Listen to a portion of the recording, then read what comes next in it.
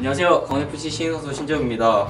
먼저 K리그에서 가장 핫한 강원FC에 입단하게 돼 너무 영광이고 데뷔가 목표인 만큼 팀에 잘 녹아들어서 경기장에서 좋은 모습 보일 수 있도록 노력하겠습니다. 감사합니다.